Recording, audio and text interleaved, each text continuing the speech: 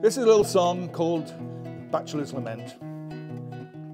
And before I got married, well, you have to try and find a perfect woman. Well, I'm tired of darning my socks, my boys, and leading a bachelor life. Of eating baked beans and jam, my boys, it's time I took me a wife. But there's one small problem I have to solve before I enter the conjugal state. Cause I travel the world, but I can't find a girl who'd be a compatible mate. It's not from the one to try, my boys, as you shall shortly hear.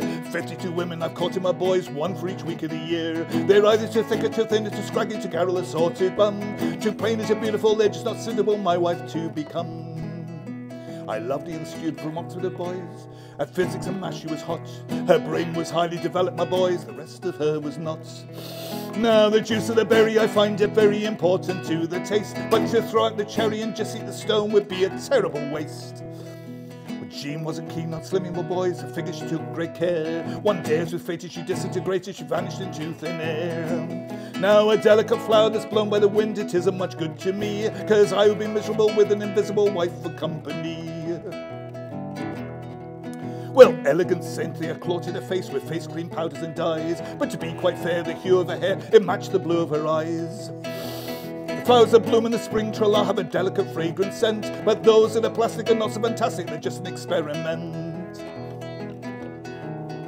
There was a Chelsea coffee bar going, my boys, her accent respectably posh. She was black in the sweater and no one could get her to ever indulge in a wash. A nice healthy potato tastes good whether it's cold or hot, but a tomato that grows in the ground, my boys, is trying to be what it's not. Pat wasn't beautiful, but she was beautiful, young in all her ways. She wore her head like butter on bread, followed in every craze. She wriggled and wiggled and squiggled and giggled and said she was having a ball. An unripe vegetable so indigestible I'd rather not touch it at all.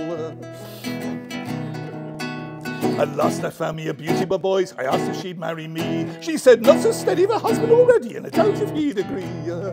So the bees in the orchard are happy, just a flitting from flower to flower. But someone has snappled up all the best apples and all the rest are sour. They're either too thick, it's within, it's straggling, it's garrulous, or too dumb. Too plain, it's a beautiful, they're just not suitable, my wife to become. They're either too thick, it's straggling, it's garrulous, or too dumb. Too plain, it's a beautiful, they're not suitable, my wife to become.